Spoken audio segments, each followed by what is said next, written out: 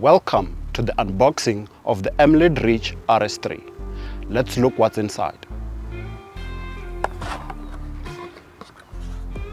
In the box, you will find the carry case for the Reach RS3. You will find a user guide with a QR code for video tutorials on how to set it up. You will also find a strap that you can clip on this carry case if you want to carry it around. Let's now open the carry case.